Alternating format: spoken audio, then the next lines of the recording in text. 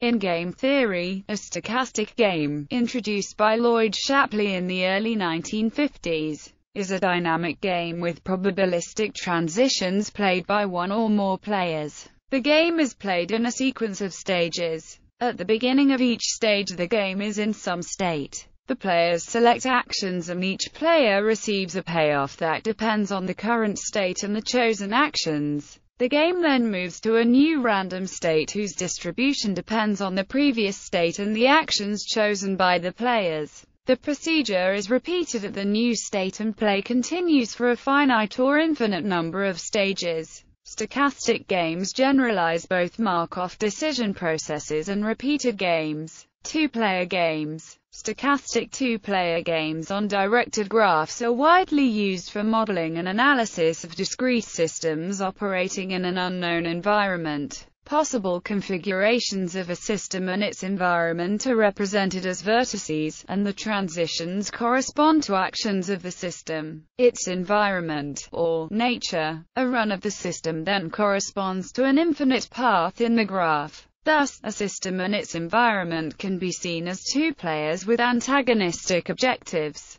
where one player aims at maximizing the probability of good runs, while the other player aims at the opposite. In many cases, there exists an equilibrium value of this probability, but optimal strategies for both players may not exist. We introduce basic concepts and algorithmic questions studied in this area, and we mention some long-standing open problems. Then, we mention selected recent results. Theory the ingredients of a stochastic game are a finite set of players, a state space for each player, an action set, a transition probability from, where is the action profiles, 2. where is the probability that the next state is in given the current state and the current action profile, and a payoff function from 2 where the th coordinate of is the payoff to player as a function of the state and the action profile. The game starts at some initial state.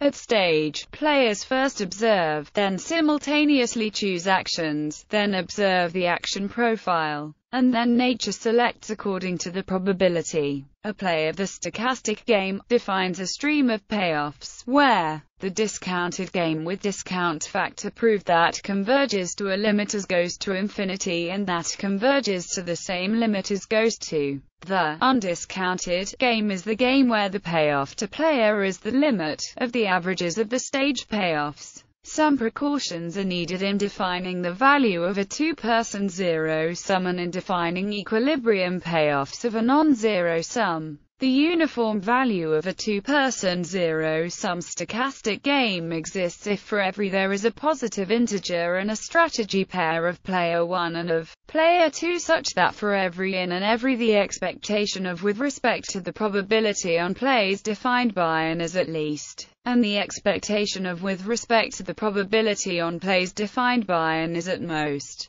Jean-François Mertens and Abraham Neyman proved that every two-person zero-sum stochastic game with finitely many states and actions has a uniform value. If there is a finite number of players and the action sets and the set of states are finite, then a stochastic game with a finite number of stages always has a Nash equilibrium. The same is true for a game with infinitely many stages if the total payoff is the discounted sum. The non-zero-sum stochastic game has a uniform equilibrium payoff if for every there is a positive integer and a strategy profile such that for every unilateral deviation by a player, i.e., a strategy profile with for all, and every the expectation of with respect to the probability on plays defined by is at least, and the expectation of with respect to the probability on plays defined by is at most. Nicolas Vieille has shown that all two-person stochastic games with finite state and action spaces have a uniform equilibrium payoff. The non-zero-sum stochastic game has a limiting average equilibrium payoff if for every there is a strategy profile such that for every unilateral deviation by a player, The expectation of the limit inferior of the averages of the stage payoffs with respect to the probability on plays defined by is at least, and the expectation of the limit superior of the averages of the stage payoffs with respect to the probability on plays defined by is at most.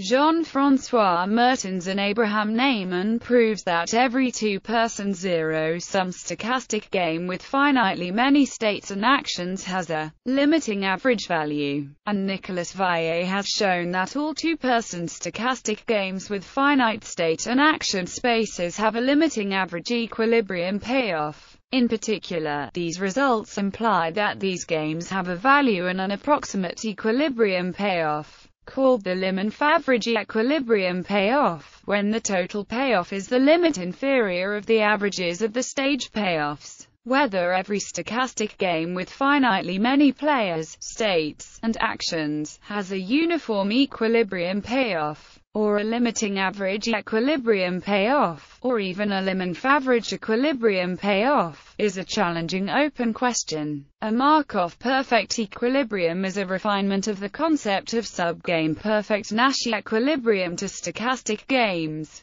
Applications Stochastic games have applications in economics, evolutionary biology and computer networks. They are generalizations of repeated games which correspond to the special case where there is only one state. Referring book. The most complete reference is the book of articles edited by Neyman and Sorin. The more elementary book of Filar and Vrieze provides a unified rigorous treatment of the theories of Markov decision processes and two-person stochastic games. They coined the term competitive MDPs to encompass both one- and two-player stochastic games.